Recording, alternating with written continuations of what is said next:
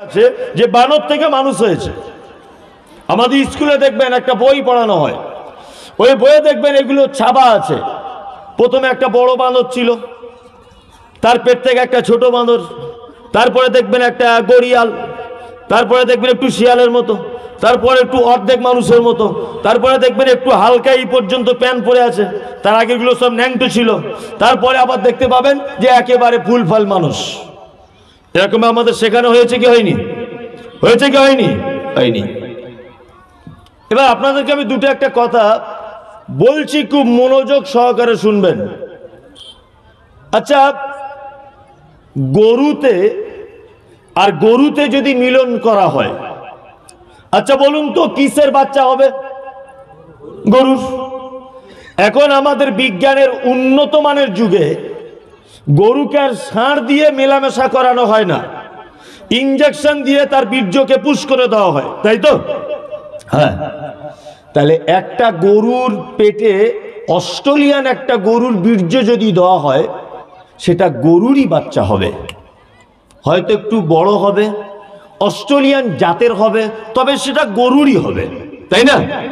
আচ্ছা বলুন তো, গরুর ইঞ্জেকশন দিয়ে যদি একটা ঘোড়ার বীর্য গরুর পেটের ভিতরে যদি বাচ্চাদানিতে যদি দেওয়া হয়, তাহলে কোনোদিন ঘোড়া বাচ্চা গরুর পেটে হবে সম্ভাবনা আছে? ইয়েস নো নেই? অসম্ভব। তার মানে আপনি যতই বিকল্প ব্যবস্থা করেন গরুর বীর্যতে বীর্য গরুরই দিতে হবে। সেটা বাংলাদেশের জাত হতে পারে, অস্ট্রেলিয়ান হতে পারে, হলস্টাইন হতে পারে, ফ্রান্সের হতে পারে, জার্মানের হতে পারে। আপনি ঘোড়ার বীর্য যদি তার ভিতরে পুশ করেন, ঘোড়ার বাচ্চা হবে না। নাম্বার দুই, চার্লস ডারউইনের থিওরি যদি এটাই চূড়ান্ত হবে, তাহলে এখন আর বানর থেকে মানুষ হচ্ছে না কেন? এখন কেন বানর থেকে মানুষ হচ্ছে না? এক আশ্চর্য ব্যাপার। হ্যাঁ আমরা এটা শুনেছি যে ঘোড়া আর গাধা মিলন করলে বাচ্চা হয়। তার নাম খচ্চর। খ চয় চয় র, খচ্চর। কিন্তু ও দেখতে অনেকটা ঘোড়ার মতো, আবার অনেকটা গাধার মতো। তাই না? হ্যাঁ তাই বলে ঘোড়া আর গাধা মিলন করলে হাতি হবে না। সম্ভব? সম্ভব নয়। তাহলে বানর থেকে মানুষ হবে, এটা আমি বিশ্বাস করে নিলাম। তর্ক এবং যুক্তির খাতিরে যে চার্লস ডারউইন এটা ঠিক কথা বলেছেন। কিন্তু আমি চার্লস ডারুইনের এই মতবাদকে আমি সম্মান জানিয়ে বলছি যে স্কুল সিলেবাস থেকে এগুলো তুলে দেওয়া হোক, অবিলম্বে তুলে দেওয়া হোক। কারণ এগুলো অবান্তর কথাবার্তারা। বানর থেকে যদি মানুষ হবে, তাহলে এখনকার বানরের পেট থেকে মানুষ আর একটাও নতুন করে হয় না কেন? এক অবাক করা তথ্য। তার মানে কোরআন বলছে মানুষকে মাটি দিয়ে তৈরি করা, আর বিজ্ঞান বলছে বানর থেকে মানুষ তৈরি করা হয়েছে। বলুন আপনি, কার কথার উপর ইমান রাখবেন? কার কথার উপরে? কোরআনের কথার উপরে। এখান বিজ্ঞান টিকবে? টিকবে? টিকবে না।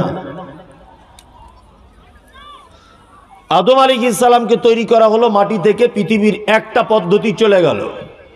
দুই, আদম আলী ইসলাম ছিলেন জান্নাতের ভিতরে। আল্লাহ তাআলা বললেন যে, জান্নাতের ভিতরে তুমি থাকো ইয়া সারাম করো, সমস্ত নিয়ামত ভোগ করো। আদম আলী ইসলাম জান্নাতের মতো একটা জায়গায় থাকার পরেও ভালো লাগছে না। মন খুব খারাপ।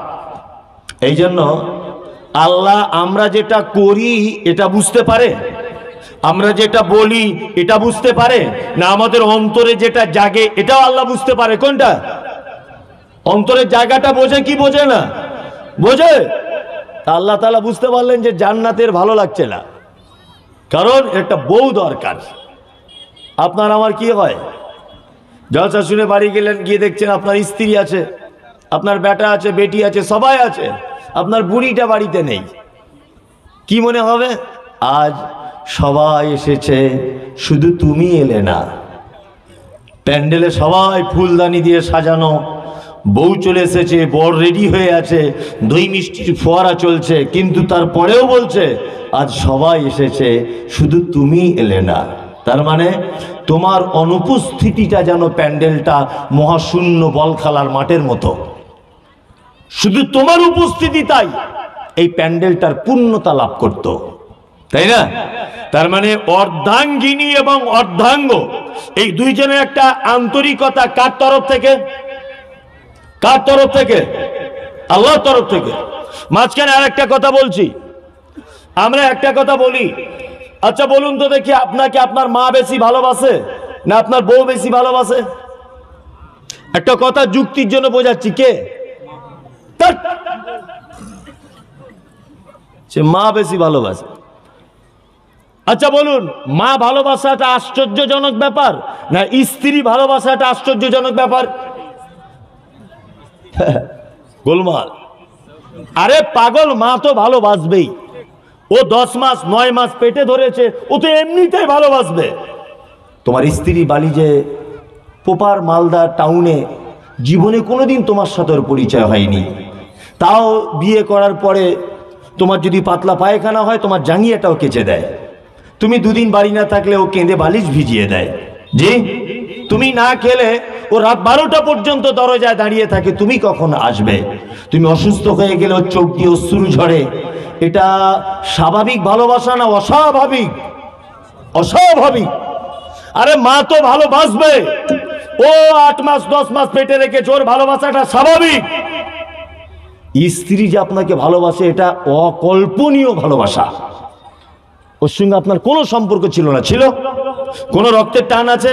তারপরেও আপনাকে ছেড়ে দুই মিনিট থাকতে পারে না। তার মানে মায়ের ভালোবাসাটা ভালোবাসা। তবে ওটা এমনি গতানুগতিক ভালোবাসা। স্ত্রী ভালোবাসা চরম পর্যায়ের ভালোবাসা। তা আল্লাহ তাআলা বুঝতে পারলেন যে আদম আলী ইসালাম জান্নাতের ভালো লাগছে না, একটা বউ দিতে হবে। না, একটা বউ দিয়ে দিলেন। বউটার নাম কি? হাওয়া। হাওয়াকে দিলেন কোথা থেকে? না, ওর পাঁচরের হাড্ডি থেকে তৈরি করলেন। কার? আদম আলী ইসালামের। তাই তো?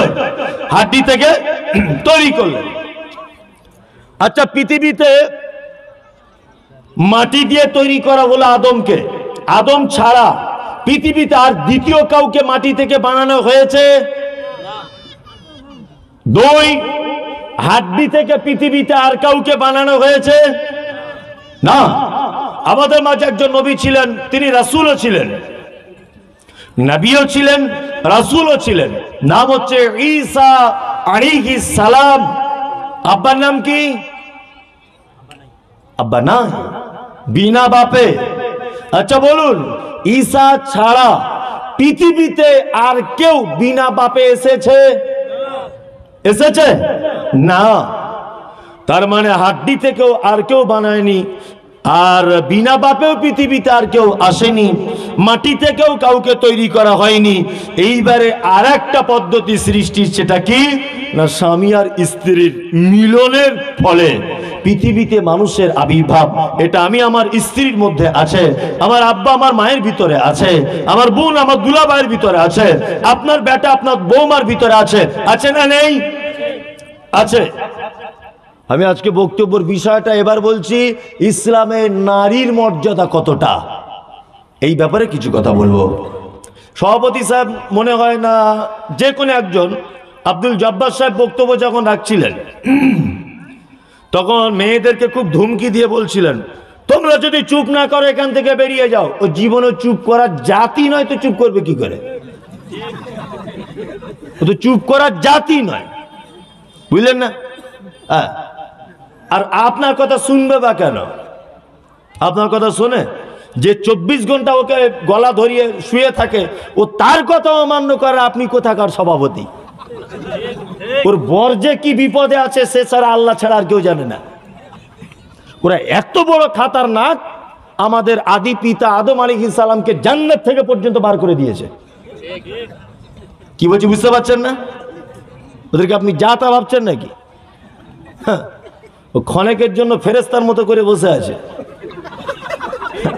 ভাবছেন যে আকাশের ফেরেস্তা ও জীবনেও গল্প বন্ধ করবে না। ওটা ওর চরিত্রই ওই।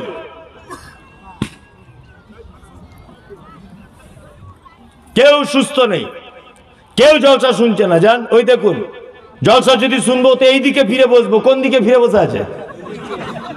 দেখুন, কোন দিকে ফিরে বসে আছে? তার মানে ও জলসাতে এটা বলছে, বুবু, তুই কিসে এলি? টোটোয় করে।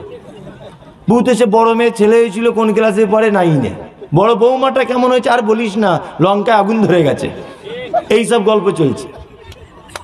কেউ জলসা শুনছে না। কে কার কথা শুনবে? এই যে বলেছি, হাড্ডি থেকে তৈরি করা হয়েছে কাকে? আর আল্লাহ রাসুল বলেছে, ওকে বেশি সোজা করতে যেও না, ও ফেটে যাবে। কি বললাম, বুঝলেন তো? খুব ওদের মর্যাদার ব্যাপারেই আজকে বক্তব্য দেব, তবে আপনাকেও বাদ দেব না। যদি বলছেন, এখনও বক্তব্য দেব বলছেন তো আধ ঘণ্টা চল্লিশ মিনিট হয়েই গেল, তাহলে এখনও কিছু বলেননি? না। এখনও শুরুই করিনি, এবার করব। আবার আপনাকে আমি ফেরত যাচ্ছি সে পৃথিবীর সূচনাতে। এবার আদম আলী ইসলামকে আল্লাহ তাআলা তৈরি করলেন। তৈরি করার পরে আল্লাহ তাআলা পবিত্র কোরআনে বলছেন, ওয়া আল্লামা আদম আল আসমা কুল্লাহা সুম্মা আরাদাকুম আলাল মালাইকাতি ফাকাল আম্বিউনি বি আসমাই হাউলাই ইন কুনতুম সাদিকিন। আল্লাহ আদমকে তৈরি করার পরে বলছে, আদম এটার নাম এই, ওটার নাম এই, এটার নাম এই। পৃথিবীর সমস্ত কিছুর নাম বলে দিলেন। নাম বলে দেওয়ার পরে আল্লাহ ফেরেস্তাদেরকেও ডাকলেন। এখানে আমি উল্টো পাল্টা বলছি না, মাদানী সাহেব বসে আছেন, চাকা জাম হয়ে যাবে। আল্লাহ ডাকলেন আদমকে ফেরেস্তাদেরকেও ডাকলেন। ফেরেস্তার আদমের সম্মুখে আল্লাহ তালা বলছেন ফেরেস্তারা তোমরা বলো তো দেখি এইগুলোর নাম? তখন ফেরেস্তারা বলছে, আল্লাহ, আপনি যতটুকু আমাদেরকে শিখিয়েছেন, তার থেকে বেশি আমরা কিছু জানি না। আল্লাহ বলছে, তাহলে আদম, তুমি বলো। আদম আলী ইসলাম একটা একটা গট গট গট গট করে সব নাম বলে দিলেন। তখন আল্লাহ তালা ফেরেস্তাদেরকে বললেন, এই শেষদা করো আদমকে। আদমকে সেজদা করো। চলো। আদমকে সেজদা করো। ফেরেস্তারা আদমকে সেজদা করলেন। এইখানে আমি দু তিনটে কথা মমতাজুল ইসলাম মানেই বিতর্কিত লোক। জানেন তো? হ্যাঁ। আর মমতাজুল ইসলাম মানি যাদের দেখবেন এরকম মোটামুটি মাথায় বড় বড় পাগড়ি বাঁধা আর টুপির সাইজ তিন চার ফুট করে উঁচু। এরা আমাকে পেলেই গালাগালি। আজকে একটা ফচকে ছেলেকে আমি তার নাম বলব না। মানে এখন আমার ব্যাপারে বলে একটু ভাইরাল হতে চাইছে, চ্যানেল ট্যানেল ভালো চলছে না। খুব দেখছি গালাগালি করছে। আজকেই বসে বসে খেতে খেতে দেখছিলাম। খুব। আমি নাকি বিতর্কিত লোক। আচ্ছা বলুন তো, নবী মাটির তৈরি না নবী নূরের তৈরি? কথা বলুন একবার সবাই মিলে। এখানে একটা গোপন তথ্য আপনাকে দিচ্ছি। যা আজ পর্যন্ত কে দিয়েছে, এটা আমার জানা নেই। মাটির তৈরি না নূরের তৈরি? মাটির তৈরি। এবার আপনাকে বলছি ফেরেস্তারা কিসের তৈরি? কিসের? নূরের। আর আদম মাটির তা আল্লাহ কাকে দিয়ে কাকে সেজদা করাচ্ছেন? মাটিকে দিয়ে নূরকে সেজদা করাচ্ছেন নয়, নূরকে দিয়ে মাটিকে সেজদা করাচ্ছেন। মানে ফেরেশতারা নূরের তৈরি, আদম কিসের? মাটির, তাই তো? তাহলে এখানে বলুন, নূরের মর্যাদা বেশি না মাটির? মাটি যারা বলছে নবী নূরের তৈরি তাদের লজিকেও ভুল। তাদের যুক্তিতেও ভুল। আরে পাগল, নবী যদি নূরের তৈরি হবে, তা ফেরেস্তারা তো নূরের তৈরি। আর সেজদা করানো হয়েছে আদমকে। তার মানে সারা পৃথিবীর সব থেকে বড় নবী সব থেকে সম্মানী নবী, নাম কি? মোহাম্মদ সাল্লাল্লাহু আলাইহি ওয়াসাল্লাম। তা উনি যদি নূরের হন, ফেরেশতারা যদি নূরের হন, আর নূর যদি পদার্থ, যদি মাটি পদার্থকে যদি সেজদা করে, নূরের সম্মান আর থাকল? থাকল? যারা বলছে ওদের যুক্তি তো ভুল। হাদিস কোরআন তো বহুত দূর কি বাত হয়। লজিকেও ভুল। কি আশ্চর্য ব্যাপার। এদেশের মাটিতে কেউ বেকার নেই। কেউ বেকার নেই। একটা ন্যান্ত লোক উলঙ্গ হয়ে আছে, ওরও দেখছে আশি হাজার ভক্ত। আশি হাজার ভক্ত বলছে, ও নাকি জান্নাত নিয়ে চলে যাবে। তার সাক্ষাৎকার ওকে জিজ্ঞাসা করছে, আপনি কেন জামা কাপড় পরেননি, উলঙ্গ হয়ে থাকেন? তা বলছে, আল্লাহ তো জামা কাপড় পরতে নিষেধ করেছে। তা বলছে, কেন? বলছে, আল্লাহ যদি জামা কাপড় পছন্দই করবে, তাহলে জন্মের সময় জামা কাপড় পরিয়ে কেন মায়ের পেট থেকে বার করল না? ন্যাংটো করে বার করল কেন? আল্লাহ যদি জামা কাপড় পরার পক্ষে হবে হ্যাঁ? তাহলে মরার সময় কেন জিন্স প্যান্ট আর টি শার্ট পরিয়ে কবর দেওয়া হলো না? তখন কেন ন্যাংটো করে শুধু লজ্জাস্থানটা ঢাকার জন্য সাদা কাপড় দেওয়া হয়? এই উত্তরটা আগে দেন। আচ্ছা বলুন এর উত্তর দেওয়া যাবে? হ্যাঁ? একটা কথা আছে যে শয়তানের উঁচু জায়গা হয় সব সময় তাই না? এ কি? শয়তান। আল্লাহ তার মানে যারা বলছে নবী নূরের তৈরি, এ এ লোকেরাও থাকবে পৃথিবীতে, কারণ এদেরও পক্ষে কিছু লোক আছে। আরে ন্যাংটো বাবা, জটা বাবা তিরিশ বছর গোসল করে না গোপ দিয়ে উকুন পড়ছে, গায়ের গন্ধতে তিন ফুট দূর থেকে মানুষ যেতে পারে না। ওর পক্ষে বলছে ষাট হাজার ওর ভক্ত। তা ওর পক্ষে যদি এত ভক্ত থাকে তাই এর তো কিছু থাকবেই। থাকবে কি থাকবে না? থাকবে। লজিকেও ভুল। শুনুন এইখানে কয়েকটা গুরুত্বপূর্ণ কথা বলছি। এখানে কিন্তু একটা জ্ঞানী মানুষদের পরিবেশ আছে। আমি সব থেকে এইখানে যত লোক আছে সব থেকে কম বিদ্যার, কম ওজনের, কম বয়সের মানুষ। কিন্তু আল্লাহ হয়তো কবুল করেছে বলে এখানে আজকে আমাকে বসিয়েছে। আল্লাহ কবুল না করলে স্টেজ থেকে ছুঁড়ে ফেলে দিত। আমি এখানে এসেছি, আমার দশ পয়সা কোনো যোগ্যতা নেই। আল্লাহ নিয়ে এসেছে। আল্লাহ কার দ্বারাতে কখন কি কাজ করবে বলা বড় মুশকিল? মুশকিল নয়, বলা বড় মুশকিল। হয়তো আল্লাহ আমার থেকে কিছু পছন্দ করেছে ওই জন্য আমি এখানে বসেছি। তাছাড়া মাদানি সাহেবকে বসিয়ে রেখে আমার বক্তব্য দেওয়ার যোগ্যতা আছে? এটা পাগলামু ছাড়া আর কিছু নয়। তারপরেও আপনাকে আমি বলছি, আদম আলী সালামকে সেজদা করল ফেরেস্তারা তাই তো? সেজদা করল কেন? ইমাম নববী ব্যাখ্যা করেছেন দুটো। আমি দুটো ব্যাখ্যার কথা আপনাকে বলছি। এক, আল্লাহ তালা ফেরেস্তাদেরকে দেখতে চেয়েছেন যে তারা কতটা আমার হুকুমকে মান্যতা দিচ্ছে। আর দুই, এই সময়ের জন্য, এই মুহূর্তের জন্য ফেরেস্তাদের শিক্ষিত কে? আদম। শিক্ষিত কে? আদম। উনি জাননেওয়ালা লোক। তার মানে বোঝা গেল সারা পৃথিবীর সূচনা থেকে আজও পর্যন্ত শিক্ষিত মানুষদের দাম আছে না নেই? আছে। আছে। এই জায়গায় আমি আবার বিতর্কিত কিছু কথা বলে দিচ্ছি। আবার কালকে সকাল থেকে সোশ্যাল মিডিয়া তোলপার হবে। এ কথাটা শুনে তবে বাড়ি যাওয়ার চেষ্টা করবেন, তার আগে নয়। নাম্বার এক, আমরা বর্তমান সমাজ শিক্ষিত মানুষদের সম্মান দিই কি দিই না? কারা কারা বলছেন দিই হাত তুলুন তো? তুলুন একবার, তুলুন। শিক্ষিত মানুষদেরকে সম্মান দিই কি দিই হাত তুলুন? মাশাল্লাহ আপনাদের বুদ্ধি তো বেশ ভালো। শিক্ষিত মানুষদের সম্মান দেন, তাই তো? চলুন তাহলে এবার একটা পরীক্ষা করা যাক। এক মাদানী সাহেব বড় একজন ডক্টর মদিনা ইউনিভার্সিটির ফার্স্ট স্টুডেন্ট উনি। হাদিসের ব্যাপারে ওনার অনেক পাণ্ডিত্য আছে। আর অরিজিনালও আছে জাস্ট বোঝানোর জন্য বলছি। উনি ডক্টরেট করেছেন, উনি পিএইচডি করেছেন, উনি মাস্টার ডিগ্রি করেছেন, ওনার ডিগ্রি শেষ নেই। মাদানী সাহেব আপনাদের এই গত যে আগামী যে পঞ্চায়েত ভোট হবে, এই ভোটে সিপিএম থেকে দাঁড়াবে।